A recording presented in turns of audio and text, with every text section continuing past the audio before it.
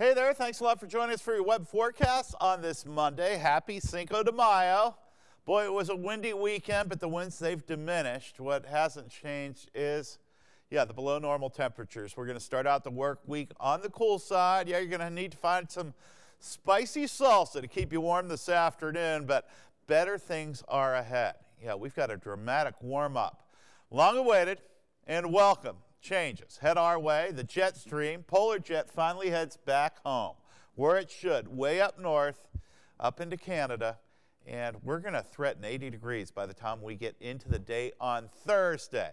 So, yeah, big changes in store. We've waited for a long time. And uh, that 80 degrees, if we do get there on Thursday, first time since early October. What a winter and, well, so far, chilly spring it's been. Now, today, a different story. We're on the wrong side of a warm front. We're on the cool side. Uh, we could see a few spotty showers. We're going to see a lot of clouds around. At least it's not going to be windy. We're actually going to see winds at the surface coming off a chilly Lake Erie, and we're only talking 5 to 10 miles per hour. Nice change after what was an entirely too windy weekend. Now, again, we're on the wrong side of this warm front that will finally move through here on Wednesday. For today, that means we are on the cool side. We'll struggle to get into the mid 50s, but this is what's waiting in the wings. It will take a little while for it to get here, but we'll begin the progression as soon as tomorrow.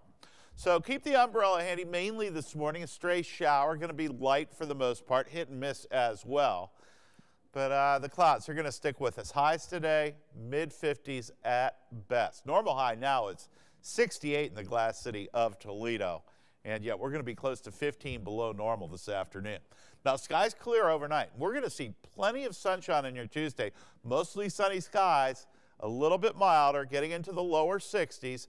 And then this is the warm front here. It's going to lift through as we head through the day Wednesday. It could spark a stray shower, maybe even isolated thunderstorm during the afternoon. We're going to see highs start to warm up. Into the 70s we go on Wednesday.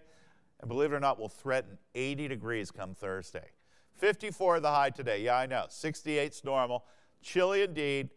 Yeah, good style jacket needed. Umbrella at times in spots as well. Not a washout today, but mostly cloudy and cool for sure. Overnight will clear things out. That gets us chilly by Tuesday morning. Sunshine, pure sunshine just about throughout the entire day. A few afternoon clouds becoming partly cloudy. We'll see a high of 61 Tuesday. Now that warm front lifts through on Wednesday. I think for most of us, most of the day it's going to be nice, but again, could see a pop-up shower, isolated storm as the warm front moves through. That gets us into the 70s, and this is a fairly conservative high of 79 on Thursday. We could see some lower 80s out there, a lot of sunshine. The pick of the week for sure. Heck, the pick of the last five months. Friday, widespread showers and storms as another cold front comes through. The active weather pattern continues.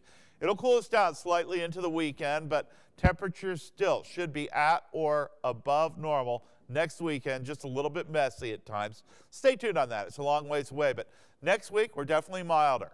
It looks like we finally turned the corner. Spring like temperatures finally move in here and yeah, summer like at times as well. We'll take it.